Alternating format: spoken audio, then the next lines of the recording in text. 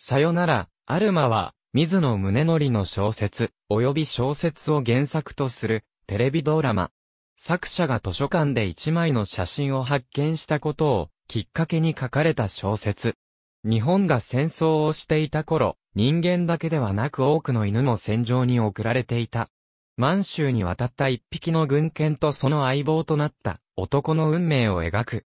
さよなら、アルマ赤髪をもらった犬のタイトルで、2010年12月18日21時22時18分、放映。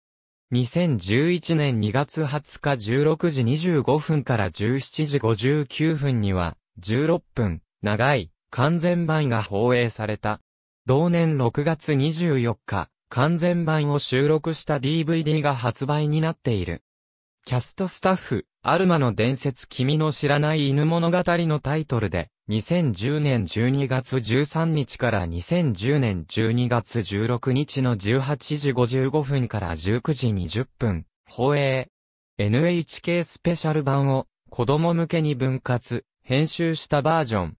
2011年1月2日の16時17時45分に4話連続で再放送され、NHK スペシャル版の DVD にも再編集版が映像特典として収められている。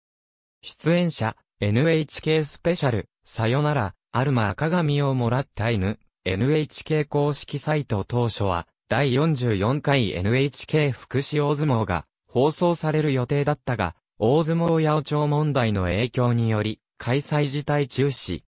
これに伴い番組自体の収録も行われず、放送も完全になくなったことから、代替番組として編成されたものである NHK スペシャルドラマさよなら、アルマ赤髪をもらった犬、NHK スクエア公式サイト。ありがとうございます。